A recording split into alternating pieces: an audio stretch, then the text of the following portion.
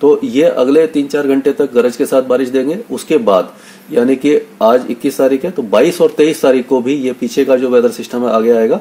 तो दिल्ली एनसीआर में 23 तारीख तक बारिश ऑन एंड ऑफ़ होने के चांसेस है। उसके बाद धीरे धीरे वेदर जो है कम होना शुरू हो जाएगा और यही रीजन है। और इससे जो टेम्परेचर है वो पहले ही काफ़ी कम हो गए हैं। जो टेम्परेचर कल 28 डिग्री चल रहा था Yes. और वो आज 18 डिग्री पे आ गया। है तो दिन के तापमान कम होंगे, लेकिन जो सुबह के रात की जो सर्दी थी, वो थोड़ा सा कम होगी अगले दो तीन दिनों के लिए। और 27 तारीख से जब ये वेस्टर्न डिस्टर्बेंस हट जाएगा तो उसके बाद फिर बर्फीली हवाएँ चलेंगी तो जिससे टेम्परेचर जो अभी मिनिमम टेम्परेचर जो डबल डिजिट में आ गए हैं, यानी पालम में आज 12 है और 9 डिग्री के आसपास सफदरजंग है, जो पहले चार या पाँच डिग्री चल रहा था तो तीन चार डिग्री फिर से गिरेगा। तो आप कह सकते हैं कि एक बार सर्दी की शुरुआत फिर सत्ताईस जनवरी के आसपास फिर शुरू हो जाएगी